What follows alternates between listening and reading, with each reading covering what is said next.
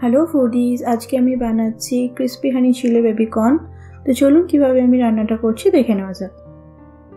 প্রথমে একটি প্যানে আমি পাঁচশো এমএল জল দিয়েছি। এর মধ্যে এক চামচ নুন দিয়ে দিচ্ছি।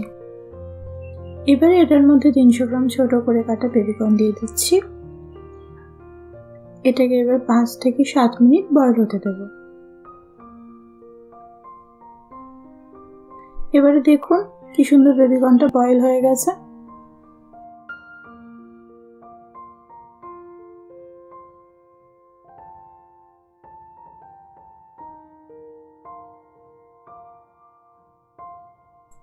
এবারে একটা মিক্সিং বলে নিচ্ছি three tablespoon cornflour six tablespoon ময়দা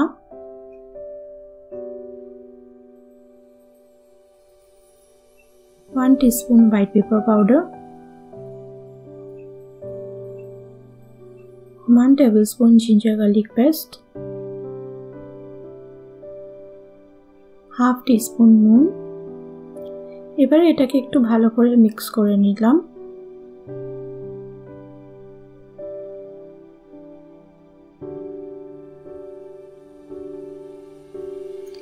এবারে দিয়ে দিচ্ছি বয়েল করা বেবিকর্ন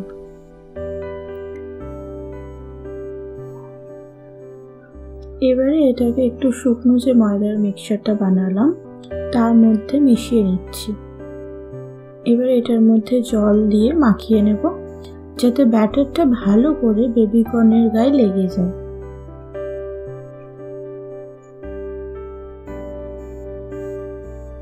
এবারে আমি একটা প্যানের মধ্যে বেবিকর্নগুলোকে ভেজে নেওয়ার জন্য তেল নিয়ে নিয়েছি।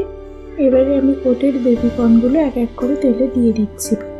লো টু মিডিয়াম ফ্লেমে এগুলোকে ভেজে নিচ্ছি।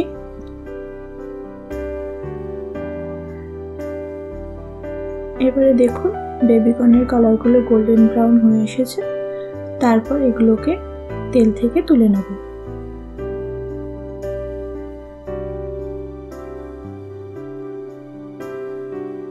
এবারে অন্য একটা ফ্রাইং প্যানের মধ্যে four tablespoon soybean oil দিয়ে দিচ্ছি spring onion whites chopped garlic spring onion greens দিয়ে এটাকে ওয়ান মিনিটের জন্য ফ্রাই করে নেব।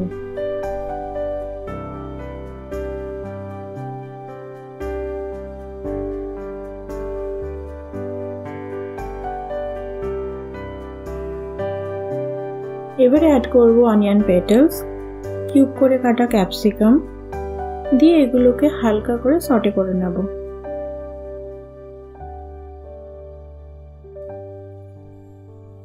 এবারে দিচ্ছি হাফ টিস্পুন নুন ওয়ান টিস্পুন গোলমরিচ গুঁড়ো, দিয়ে ভালো করে মিক্স করে নিচ্ছি।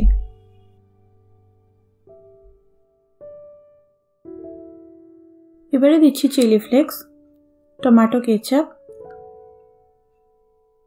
vinegar soya sauce Ajinomoto, দিয়ে এটাকে ভালো করে মিক্স করে নেব। এবারে আমি অ্যাড করছি হানি আর আপনারা কিন্তু এই ডিশটা যাকে খাওয়াবেন, তার কতটা মধু প্রয়োজন সেই মতো অ্যাড করবেন। তারপর এটাকে ভালো করে মিক্স করে নিয়ে কর্নফ্লাওয়ার স্লারিটা দিয়ে সঙ্গে সঙ্গে নেড়ে নেবেন না হলে এটা জমে যাবে।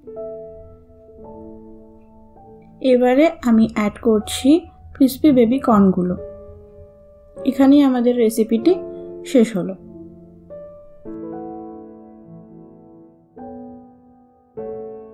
ভিডিওটি ভালো লাগলে লাইক শেয়ার অ্যান্ড সাবস্ক্রাইব অবশ্যই করবেন।